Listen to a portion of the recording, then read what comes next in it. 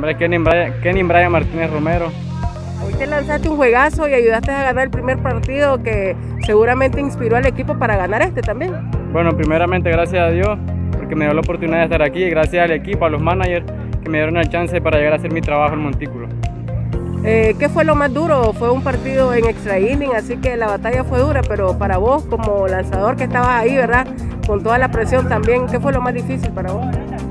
Bueno, la verdad no me fue difícil porque mi trabajo, es pichar en mi trabajo, es lo que me gusta hacer, entonces solo me concentro en mi trabajo y es suficiente con eso. Bueno, van a otra jornada el próximo fin de semana, ya están cerquita de la corona, pero estos tucanes también son duros, no hay que confiarse. No, claro, son buen equipo, no hay que, hay que respetar al equipo porque todos somos contrincantes, pues.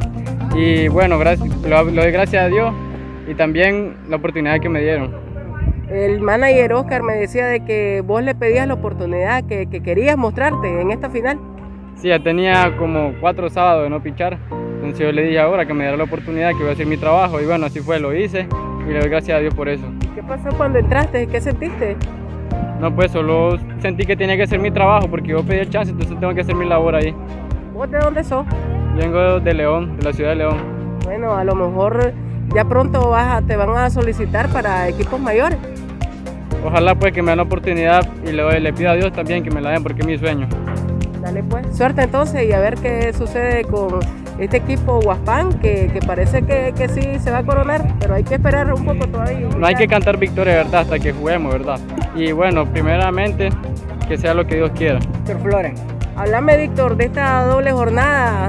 Huaspán está cerquita de esa corona, pero hay que ba- batallar todavía con estos tucanes que también son duros. Sí, gracias a Dios sacamos los dos juegos y vamos al tercero a sacarlo también. ¿Cómo lo vivieron ustedes como peloteros estos dos juegos con los tucanes?